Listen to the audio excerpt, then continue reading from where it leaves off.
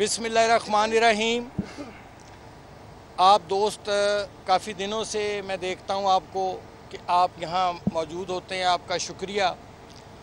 آج سب سے پہلے میں ایک بات یہ کرنا چاہوں گا کہ جب سے نواز شریف صاحب نے جی ٹی روڈ پر جانے کا فیصلہ کیا، تب سے ہمارے سیاسی جو مخالفین ہیں ان پر ایک لرزہ تاری ہوا ہوا ہے۔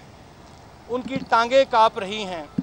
اور کوئی کہیں سے بول رہا ہے، کوئی کہیں سے بول رہا ہے، کوئی کہیں سے بھاگ کے آ رہا ہے واپس۔ اور یہاں آ کر خصوصاً آج صبح سے مختلف افواہیں پھیلائی جا رہی تھی میں آج یہاں ابھی ہم اپنی میٹنگز ختم کر کے آئے ہیں۔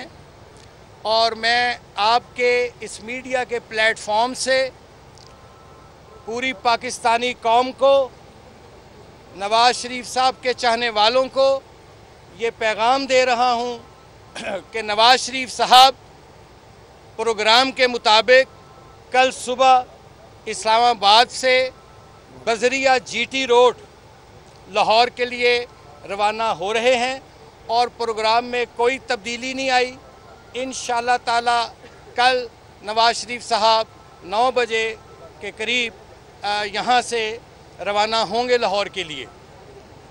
اور دوسری یہ بات کہ مجھے اور ہمارے پارٹی کے تمام جو لیڈر حضرات ہیں رانما ہیں، ان کو پاکستان بھر سے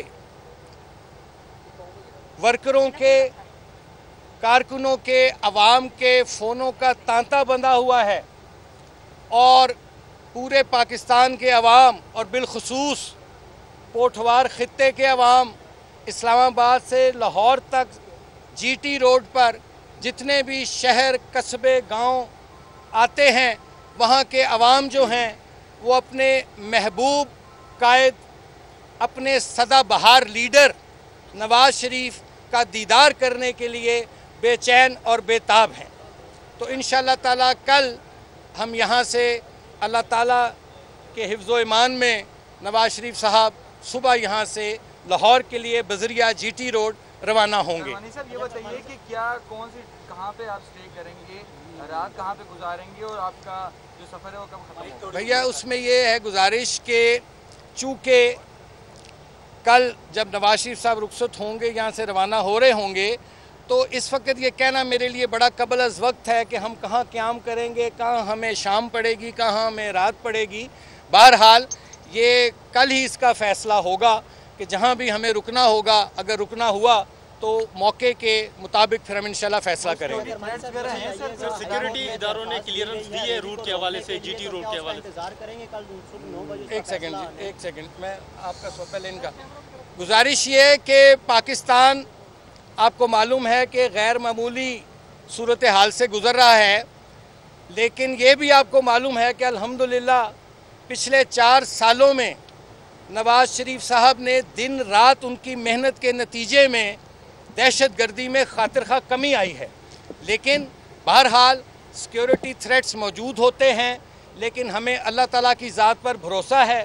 ہمیں نبی کریم صلی اللہ علیہ وسلم کی ذات پر بھروسہ ہے کہ ان کے صدقے انشاءاللہ تعالیٰ کل نواز شریف صاحب جب نکلیں گے تو ہم انشاءاللہ خیر و خیریت سے اپنا سفر مکمل کر کے لاہور خیریت سے انشاءاللہ پہنچیں گے۔ اچھا صاحب بتائیے گا کہ اسلام آباد میں دفعہ 144 کا نفاذ ہے اور آپ نے تحریری کورٹ میں ریلی کو روکنے کے لیے درخواست دائر کی گئی ہے۔ صبح نو بجے اس کا فیصلہ سنایا جائے گا۔ اس سے پہلے آپ نکلیں گے یا فیصلہ سننے تک کا انتظار کریں گے؟ دیکھیے ہم تو بھائی نواز شریف صاحب جو ہیں انہوں نے ہمیشہ ہم تو عوام میں رہتے ہیں وہ۔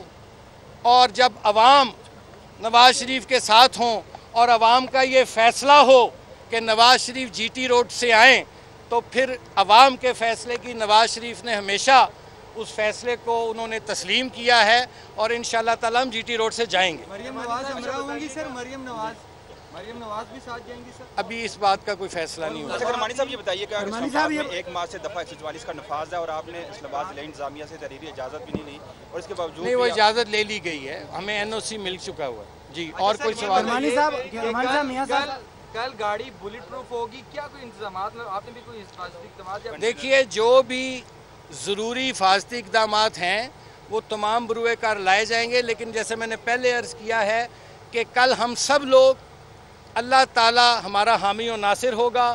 عوام، پاکستان کے عوام جو جی ٹی روڈ پر اسلام آباد سے لے کے لاہور تک جو نواز شریف کے لیے کھڑے ہوں گے، وہ انشاءاللہ تعالی نواز شریف کی سیکیورٹی جو ہے وہ پاکستان کے عوام ہیں۔ اللہ تعالیٰ کی ذات ہے، اللہ خیر کرے گا۔